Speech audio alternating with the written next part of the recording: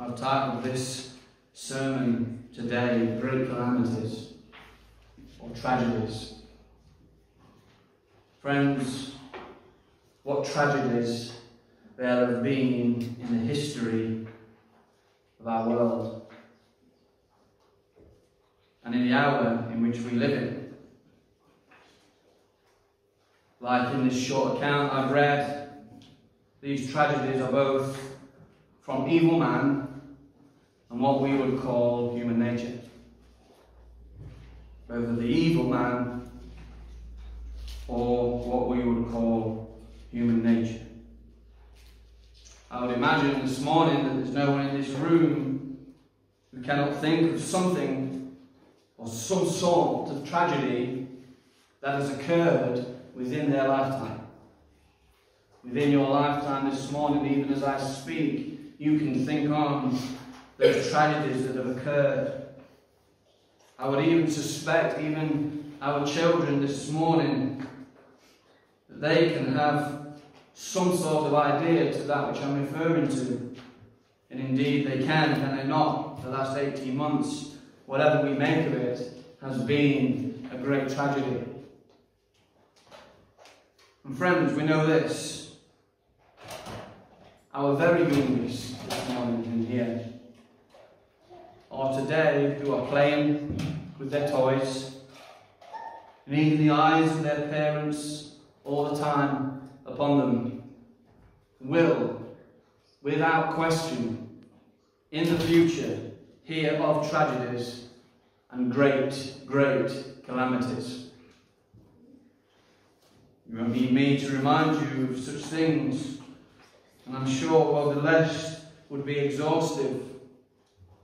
The Great Fire of London in 1666, the sinking of the Titanic in 1912, the Great Depression, in 1929, all the way through to 1933. Of course, both world wars, 1914 to 1918 being the first, and the second 1939 all the way through to 1945. These are real. These things happened. Left great calamities great tragedies. And of course, the event that has been all over the news this week as it's been remembered, in my view, very brightly remembered, of the Twin Towers, what is called 9 11, 20 years ago. I confess it was the watching of a BBC documentary this week called Survivors of 9 11 that made my mind think upon this text. And I've watched others throughout this week regarding that tragic day 20 years ago. It brought me to this text, brought me to this message. Like other events I've mentioned, no doubt many, many more, in fact, certainly many more. This, these inflicted turmoil on many lives. The lives of individuals, the lives of families, the lives of a nation, and arguably the lives of a whole world. On September 11th, 2021, 2001, forgive me, most of us who are old enough in here, which I would say is the majority, will remember exactly where we were when this news came through. The tragic event shook the world. I would say, in my view, and I'm sure of many, that it changed the world. It changed the way in which even us in this small village live and continue to live. A great manifestation of evil was seen on every television screen. I said to Joy last night, as you watch that thing occur, you can watch it a thousand times and still be horrified. The thousandth time of watching it. This tragic event did shake the world. And I think that we can easily say today it still has its effect, and those effects are clearly seen. On that day, within them two towers, 2,996 people lost their lives. That means within a blink of an eye, within a moment, 2,966 families, 96 families, had a loved one taken from them and we're never going to be the same again. Mums, dads, brothers, sons, etc., etc. Life in one moment changed. On that day, to my understanding, 25,000 injuries on that day were reported, varying from minor to life changing. It wouldn't be uh, appropriate to go into those, but you can imagine the, the injuries that took place on that day. This affected so many people's lives physically. And I would say, in my understanding of this, these numbers that I give you would not be full. These numbers I give you would not speak of those who were mentally and emotionally ruined on that day. A great calamity, without doubt. You see, when we think of these tragic events, it would be very difficult to list them. It would be wrong to try. We can speak of earthquakes. We can speak of forest fires. We can speak of other similar attacks regarding that of 9 11. Diseases, viruses, tsunamis. Again, if you remember that tsunami in 2004, 2,000, two, forgive me, 230,000 people's lives were washed away. Yes, within a moment. And again, maybe some of you here can remember the very day that came out. I think it was Boxing Day 2004. We were in Australia. Within a moment, great calamity.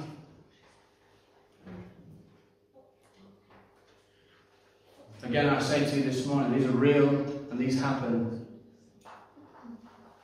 You can think of other tragedies and other tragic stories or accounts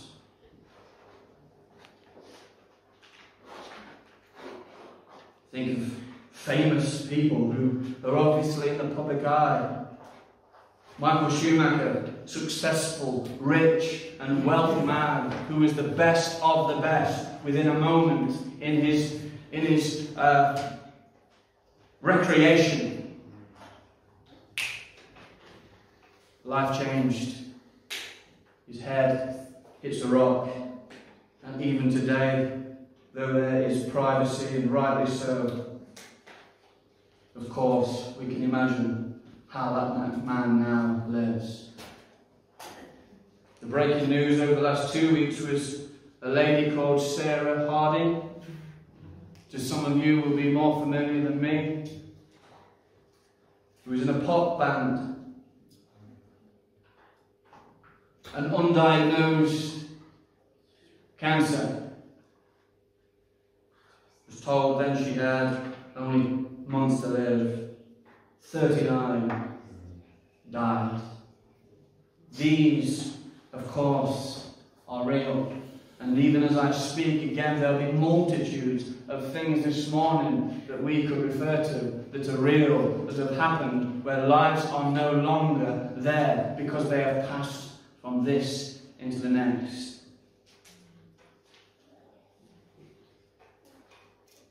And of course, it wouldn't be right, would it, to move on without saying those tragedies that are much closer to home. Those things to each and every one of our families. There have been tragedies, that death, that accident, that diagnosis. Friends, how we all could tell the reality of these things and how they have affected us. What is the response of all this? But I can say for sure that my intention this morning is not to answer why, because I don't have the full answer. Neither do you. What is our response to this, or to all of this? And when I say our, what I mean by that word is, as Christians, what is our response to this? Of course, I would say that it would cause you and I to consider that question. Why, oh God, did these things come to pass? Why is it that that happened?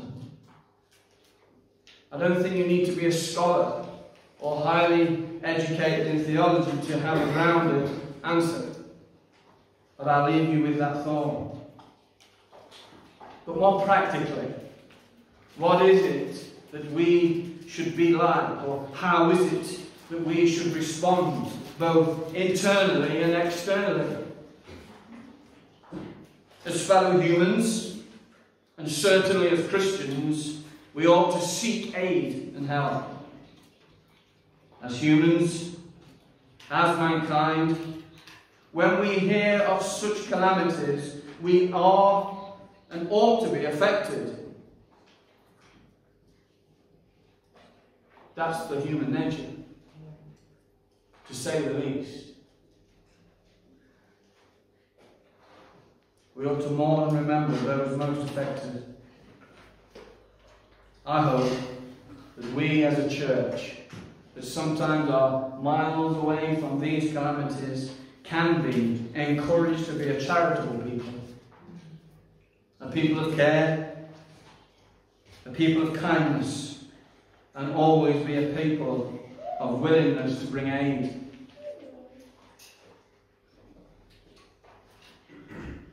But friends, if we are to handle this text with care, with honesty, we must then go further.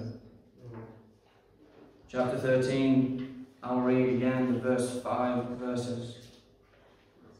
There were present at that season some that told him, being Jesus, of the Galilean, or the Galileans, whose blood Pilate had mingled with their sacrifices.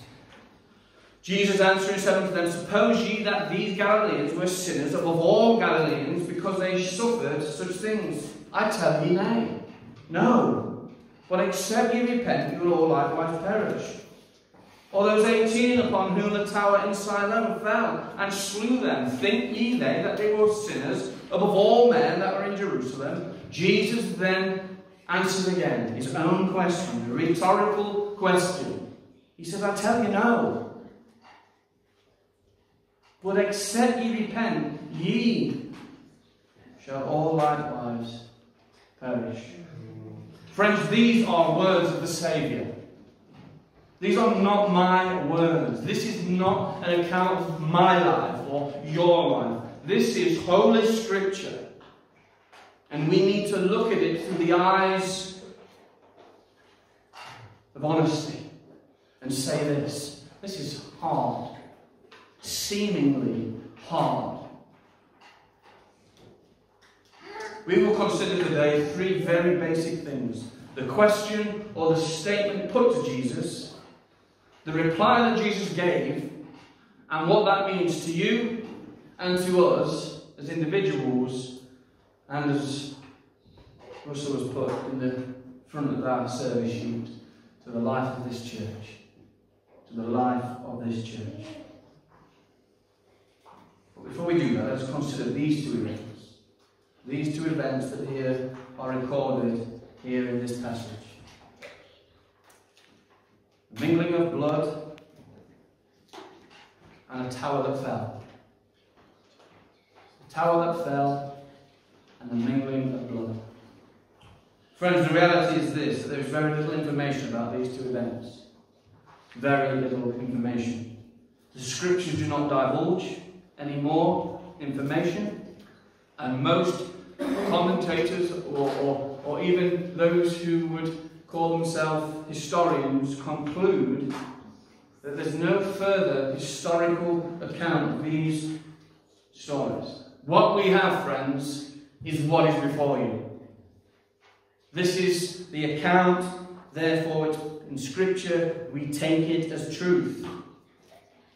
There's no real further historical information. There's no, there's no six-page dialogue on what happened with the Tower of Siloam. It's not there. But I believe, as I was preparing for this, I believe that is wonderful. Because what we could get caught up on is the detail of the events rather than what Christ is actually saying. So we haven't got that great dialogue to, to, for us to digest and miss the point. William Hendriksen says this about these verses or these events. He said it was impossible to be more specific. Neither Josephus, who was a time around then, of a, he was a historian, nor any other sacred or secular relates to this incident. All we really know is what Luke tells us here. Namely, that while some people who lived in Galilee and had made a pilgrimage to Jerusalem, listen to this, were busily engaged in offering their sacrifices in the temple, they were suddenly cut down. They were murdered. Upon orders of whom? Of Pilate. Consequently, in some sense, the blood of these Galileans were mingled with these sacrifices. Gruesome in many ways. We know, don't we, that Pilate was cruel. We know that Pilate was cruel. We know that Pilate was a coward. We know that Pilate was a man who only thought of himself and his kingdom. So we have. With regards to the falling of Tower of Siloam, again, very little information is given. It is again suggested that this tower would have been near the pool of Siloam, inside the wall southeast of Jerusalem. Probably would have been a turret that fell and killed 18 people. Again, friends, that's all really we have. The question, or in some sense the statement that was made to Jesus here in verse 1 of chapter 13. We know that the context, again, which is always said here, is absolutely vitally important. Chapter 12 tells us that Jesus was addressing, you go to the beginning, you have to do it now, but if you go to the beginning of chapter 12, what you will see is a continuation who Jesus is addressing. Jesus is addressing an innumerable multitude of people. He's speaking to many people here. And as we read through the latter part of chapter 12, making our way into chapter 13, Jesus is rebuking these people for discerning the weather. You can tell what the weather's going to be like. You can look at the sky and predict or, or make sound judgments what the weather is going to be like. Yet you cannot recognize the time you are in. In other words, you do not notice that the Son of God has come. He's dealing with them. He's dealing with them. As we get further on into chapter 12, Jesus, in some senses, seemingly offers practical advice. Yet I'm sure here was speaking of being right with one another and before the one true judge. He says in verse 59 of chapter 12, I tell thee, thou shalt not depart thence till thou hast paid the very last mite. You will not be dealt with unless your sin is dealt with. Unless the debt is paid, you are chained. He's talking about judgment here. And then we, we go on into this chapter 13. And we will look at this within its context. We won't dwell today on, on chapter 12, but we will not ignore it. But it seems to me that these people then who have been addressed. Some of them, as he said, they were present at this season. Some that told him of the Galileans. Some that came up to Jesus and either reminded him of this, gave him the information about this. What were they doing? Again, we ought not to dig do too deep to, to presume something that isn't there, that they've just been de- being dealt with. Now, all of a sudden, they are seemingly kind of deflecting what he's just said, trying to change this direction, maybe, of the conversation. He's told them of this tragedy. And I'll read to you from the ESV the reply that Jesus gave. Jesus says, Do you think that these Galileans were worse sinners than all of these other Galileans because they suffered in this way? No, said Jesus, I tell you, I tell you. But unless you repent, you will all likewise perish. Or those 18 on whom the tower of Siloam fell and killed them, do you think that they were worse offenders than all those who lived in Jerusalem? Jesus says again, No, I tell you, that unless you repent, you will all likewise perish. Do you think that these Galileans were worse sinners than all of the Galileans? Because they suffered in this way. Again, as I keep repeating. Or those in whom the Tower of Siloam fell and killed. They asked, Do you think that they were, or Jesus asked the people there, Do you think they were worse offenders than all others who lived in Jerusalem? To both questions, Jesus asks, Jesus himself then gives the answer. No is the answer. No, these are not worse sinners. Forget that idea, forget that notion. But then again, he turns the attention onto them. But I tell you, unless you repent, you will likewise perish. You see, if Jesus or the Jews coming to Jesus in their philosophy, in their beliefs. They thought that personal disaster is the result of personal sin. They thought something that happened that was so bad that it happened because they were worse sinners. You remember in John 9, they were asking why the boy was blind. Was it because the mother sinned or the parents sinned or because he sinned? And God, Christ actually said, well, neither actually is like this so that I can show my glory. Paraphrase. So these calamities, Jesus first of all makes it clear. These things didn't happen because they were worse sinners. Not at all. Jesus here refutes that notion twice. What Christ does doubly affirm is the need to repent. Unless you repent, you will likewise perish. Was Jesus saying, unless you repent, you too will walk into some calamity? That you also will be crushed by a tower? Is that what Christ is saying? We, of course, I would think that most would say, what a silly thought that would be. That wouldn't be right in the context of the gospel. But do you know what? Even within our own minds, we have looked on calamities, we've looked around and even applied in our own heart. That's happened to me because I am. Friends, it's not the case. This could go much deeper as you hear me. I'm sure you, we could have a wide conversation of why these things do happen. But worse sinners, Jesus says no. Paul the Apostle says, I am the worst. I'm the worst of sinners. You see, friends, we have to get deeper than what we see on the surface. We have to consider much more. What then is Jesus saying? What is, he, what is happening in this seemingly one way conversation?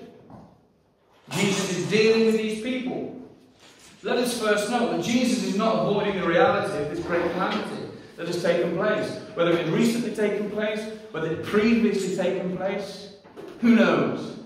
But this had taken place, and we know, don't we, those of us who have been so familiar with the scriptures, that the Jesus to whom is saying these words is a Jesus who is the Christ, who is full of compassion and full of mercy, particularly for the poor, particularly for the weak, particularly for the afflicted. So this Jesus here is not ignoring what has been happening. What Jesus is doing is dealing with something that is eternal. What Jesus is doing, he's saying, What about you?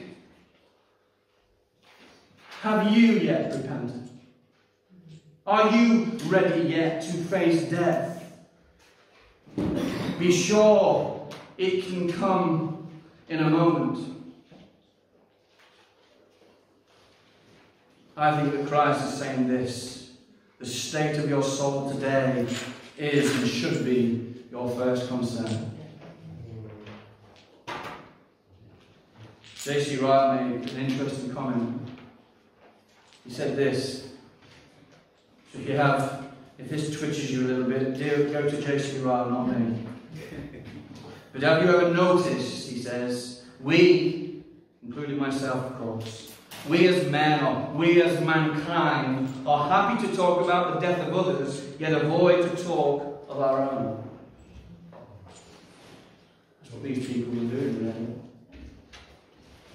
What about this? What about that?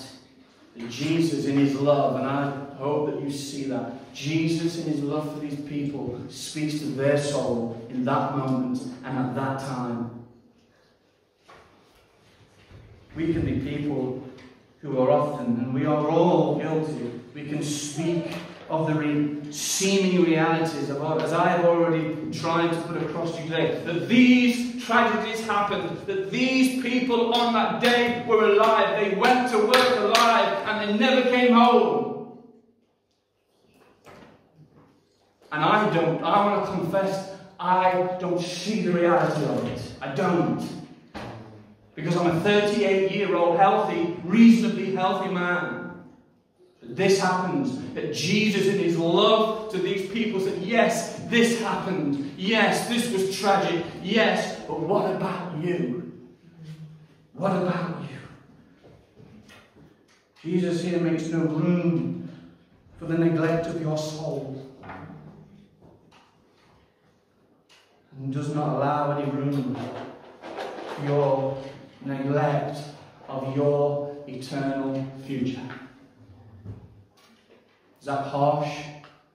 I would say it is one of the most loving things that one can ever do. And we're praying for converts who the night down quoted Jude, pull them from the fire. Friends, I tell you what, there's a fire breaking out now. Any good man in this room would get every woman and child out there as soon as they possibly could. Why? Because they care and we talk of something far greater than that. We to speak of your soul this morning, whether it's the youngest in our room or the oldest in this room, it will meet with God. It will meet with God. So what does this then mean for you? What does it mean for me? What does it mean for us as a church? For you, You've heard it often. Have you heard it enough for God to determine? You have heard, you will hear from this pulpit that great question. Why? Because we must. Why? Because we should. Why? We cannot and should not do any other. Your eternity depends upon this question, or rather, your eternity depends on the answer to this question. Have you yet repented? As I went through the thoughts and all of what I've watched this week and considered, educated myself, I hope, I asked that question of myself. And I asked a question that I haven't yet fully grasped because the scriptures that Russell's been going through says two things to believe and repent. Believe and to repent. Now I leave you with that carrot dangling because I'm working that out myself. Let me say this Satan, this hour, believes God. But there's no repentance. Have you repented? Have you, as we, we were in the city, the city, the town of Chesterfield on Friday, I'll go into that maybe a little bit more. But by God's help, we call men and women to repent. Why? Because if they don't, they will likewise perish. We can stand and remember, and I am an advocate for that remembrance. I am. But unless you repent, you too will likewise perish. What does it mean to perish? Friends, the scripture is clear about the weeping and the gnashing of teeth. I leave you with that. I could exhaustively go on about that, but I believe, particularly over the, the month gone by, that you have been called to believe and repent upon Jesus Christ. You've been called. I don't think that even people know what repentance means. My children, and you know, here they are, the pastor's kids, say, I'm sorry. They're in trouble again. I say again as if they're always in trouble. By God's grace, they're not always in trouble. But they are in trouble. And they say, Daddy, I'm sorry. Or Dad, it's becoming Dad now, by the way. Dad, I'm sorry. And sometimes they have to hear this. You're sorry only because you want to stay late up tonight. You're not sorry. That's not repentance, friends. To be sorry is very much inclusive, of course. But repentance means to change your ways, to have a different heart, to have a different mindset. I once lived for sin, but now I'm going in the absolute other direction. I don't want it anymore. I am changed. That's what repentance means. Repentance doesn't mean that just because you come to each service it means a heart change. And I was thinking again in my preparations, and as I prayed, I think we're praying as a family. I said, I said to, uh, I prayed that our hearts would be changed. And then I thought, this, I don't need a heart that's changed. I need a new heart. I don't need a changed heart. I need a new one. I need one that now loves Christ with every fibre of my being. Have you been given that today? Have you repented of your sin? Because I say this not because you need another message on it. I say it first of all because the scriptures demand it. And if we, in the last 18 months, whatever personal tragedy you have had or we have had, the reality is this that you know, you know that even those to whom you have loved are now not with us and they have met their Maker. This message is vital. So I ask, the question I ask, we will ask.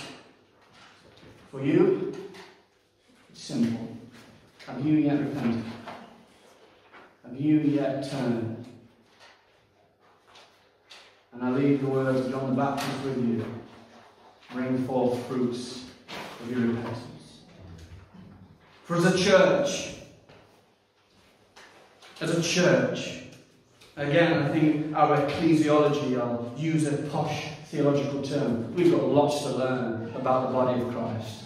So much to learn. I've got so much to learn. But as a church, and I believe that by His grace we are growing, by His grace we are learning, by His grace we are going forward. But as a church, what does it mean for us? This small church in this small village Friends, as I watched this documentary on these events that took place 20 years ago in America, as I watched the poor people decide whether it was burn or jump, tears filled my eyes. When I heard the fireman explaining how he was the only man of his staff that morning that got through the day. 12 of his men there that morning having breakfast, and by the end of the day it was only him who had life. And how told of his story and his obvious brokenness and his emptiness and his hopelessness. My throat goes dry. When I listen to mums and how they had to sit and tell their little children that daddy isn't coming home, I thought of my own. And of course, you know well as I that I could go on and on and give tragic examples and sad things that occurred that day. But, friends, what about this? As I watched that documentary and thought on it truthfully for days, I asked how many were unrepentant. Mm. How many of them that day, as hard, and I stand before you, battling this in my own mind, how many of them that day went into outer darkness forever? Let me put in a footnote that the judge of all has to right. He always does right. But that day, friends, tragic as it was, and as horrifying as it was, for some, that was it. Sad as reality, these tragic events are, friends, there's something far, far, far worse. Far worse. To go into death, to enter in without repentance. Friends, that's worse. And this, though it be hard, must be said. We hear it said, don't we, that by unbelievers, we've probably all said it, and I don't mean in any way to be critical, I'm sure we'll say it again. But we can say, can't we? He died peacefully. She went peacefully regarding unbelievers.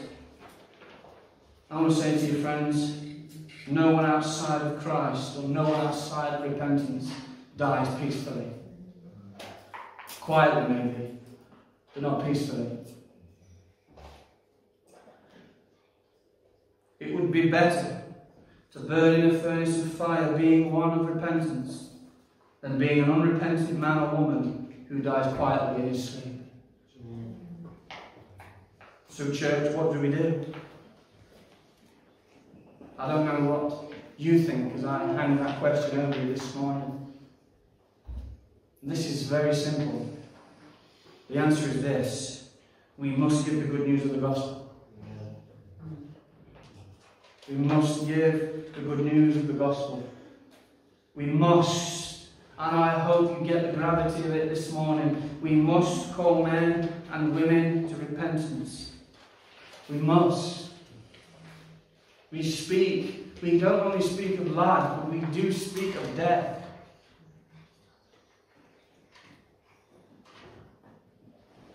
So I ask a question, church. What do we do? Friends, we must evangelize. We must evangelize. Does your neighbour know you're a Christian? Does your work colleague know that you are Christ's soldier? These are seemingly small things, but I'm going to say they're profoundly big. Church. That's church. That church is the nice white walls around you know. They can't evangelize. The chairs, it's another subject. They cannot evangelize. You are the church.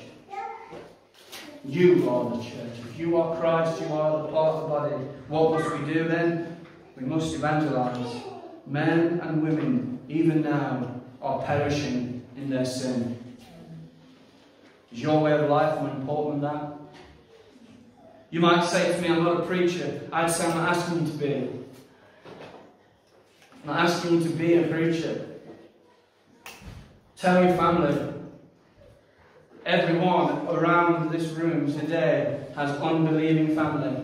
Tell them of Christ. Tell your friends. Tell the butcher. Tell the baker. Tell them of Christ. Tell them Christ died for them. Tell them that you must repent and believe this gospel. You might say, I can't talk. I can't really communicate that well. And again, say, you don't need to. God will do that. Moses said that. You might say, What then can I do? How about give? You say, What? I say, What about give? How about throw everything into the gospel? How about sacrifice? How about this? How, what can I do? How about pray? How about hold the rope? I was so encouraged Friday. We went to Chesterfield, five of us. Brilliant. But the amount of people, probably another handful, came up to me and said, Know this. We were praying for you.